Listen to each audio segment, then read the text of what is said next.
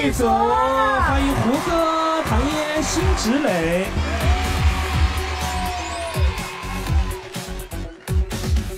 先选一下属于自己的专区看一看，有我们的显眼包，有我们的这个佛系，还有海基米专区。唐嫣姐直接选佛系了哈。嗯，唐嫣姐那么幽默的一个人。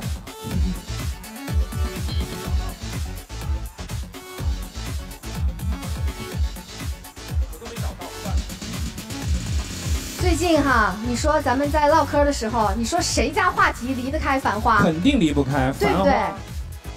而且看那个沪语版，把我们带到那个九十年代的上海，真的是非常非常过瘾。我还没看完，我最近正在追追剧当中，应该到第九集了哈。你看，汪小姐刚刚出了车祸。你刚刚追到第九集是不是啊？他们也刚刚收官。天哪，我准备养养肥了，然后养到春节看。欢迎三位来到我们的中心点位签名。是的，我们这个话题霸榜热搜的电视剧《繁花》，我相信很多朋友都看到了哈，非常的爆啊！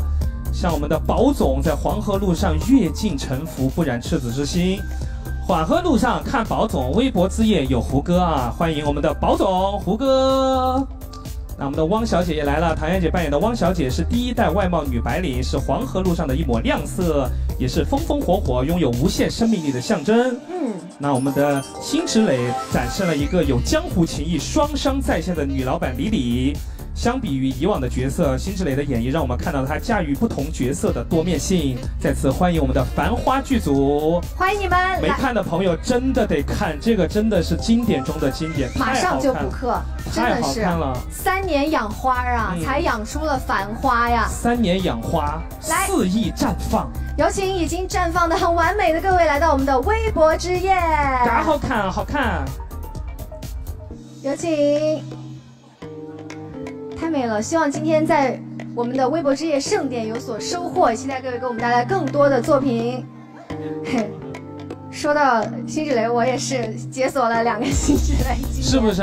对，真人秀上的辛芷蕾以及演戏一个演戏的辛芷蕾是。好，来，让我们有请有请肖战，欢迎肖战。